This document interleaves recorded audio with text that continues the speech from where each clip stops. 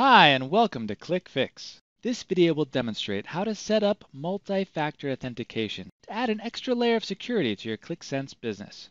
This feature has been made optional and can be configured or even disabled at any time. Once you have a Qlik Sense business subscription, it is recommended to use multi-factor authentication for the owner of the service account and tenant admins, given the sensitivity of the information they have access to.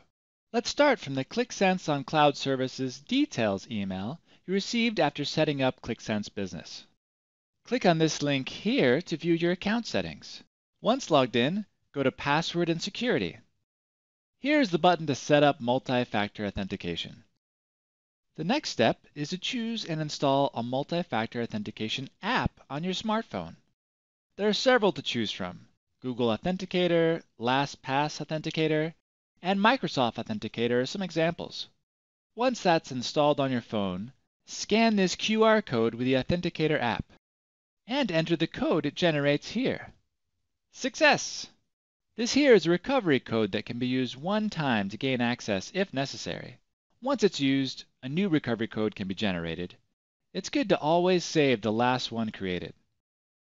Back at My Qlik portal, you can see that multi-factor authentication is all set up and active now. There are computer desktop options like Google Authenticator if you don't want to use a phone app. If for whatever reason the service account owner becomes locked out and the recovery code isn't working, just contact Qlik Support to reset. I hope this helped.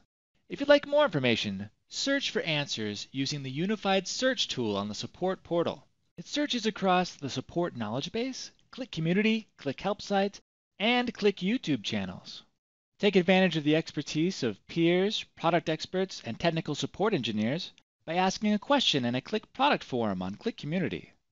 And don't forget to subscribe to the Support Updates blog. Thanks for watching. Nailed it.